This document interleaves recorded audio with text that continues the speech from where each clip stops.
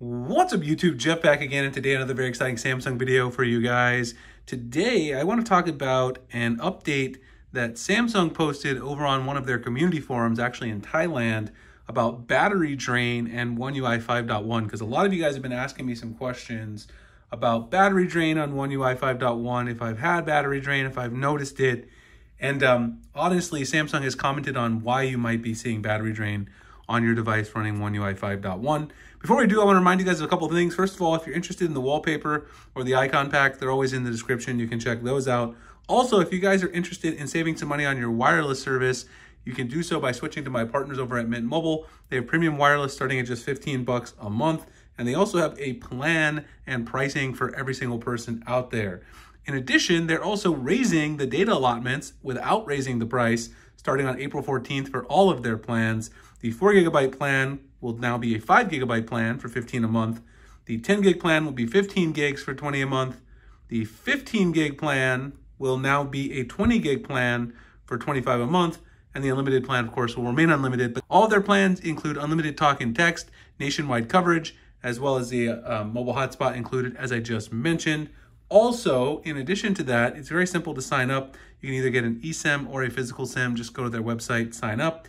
And if you do so today by using my link, mintmobile.com slash Springer, sign up for any three-month Mint Mobile plan with my link, and I will personally send you a phone case of your choice from any case manufacturer, any phone. I'm doing this as a thank you. Mint's not directly doing it. mintmobile.com slash Springer to sign up. I had great service here with Mint the last seven months in the Phoenix area. I know you guys will enjoy it as well, and we appreciate Mint for being partners with the channel. Okay, so let's go ahead and talk about it. Um, let me go back to the Google browser. Um, SamMobile posted an article this morning, which is actually based on this. This is the original source. I don't, I, I can actually translate this to English here so we can see the original source. Um, this community post from Thailand, it says, after updating to One UI 5.1 version, your device's battery will drain quickly. And uh, this is just a rough translation from Google, which is what SamMobile basically did too. It says, we've confirmed that Samsung keyboard app included in the latest version has increased battery usage do some additional qualifying process related to stickers and emojis. So they increase, you know, they improve some of the sticker and emoji features. Uh, to fix this, the new version of Samsung Keyboard Update was released on March 2nd, which obviously was over a month ago. Therefore, please update the keyboard version to 5.6.10.31 on your device via the Galaxy Store. And then they give you the steps to update this. It's uh, it's very simple, and of course, I'll show you guys how to do this as well. Um, but I checked all of my devices. You guys should definitely check your devices as well. So first of all, if you want to grab the latest update, the first thing you can do is you could do exactly what they said, but it doesn't always show up when you search. You can search Samsung keyboard here in the store and then tap on that and then you can scroll down and find the version and you can see the version I have installed is 5.6.10.31, which was the one that has the bug fix on March 2nd they actually detail that they fixed the bugs. 77.09 megabyte update. So if you make sure you have that version, you're good to go.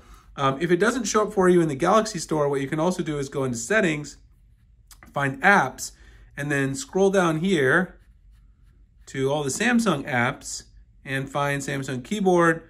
And then if you go to the bottom, this will show you the version number right there. And also, if you guys didn't realize this, you can also choose to uninstall updates from within here um, which is not something I recommend doing. But you also have the option to do that if you ever have a version that's causing you a bug um, and then you don't want to get a future update, you can certainly do that as well. Uh, if you're happy with a version, you don't want to get future bugs, you can do that too.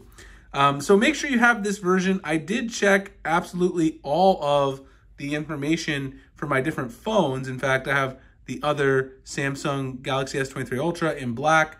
Uh, and I also checked, in fact, let me check it really quick. I actually didn't check the Fold, but the Fold is one of the uh, devices that they also said were having some issues. So let me go in here and just check really quickly if I got this update. So I think if you got the April update from Samsung, which I got the April update on this one, you're gonna have this version automatically. So you guys can see right there, 5.6.10.31 on the Fold as well.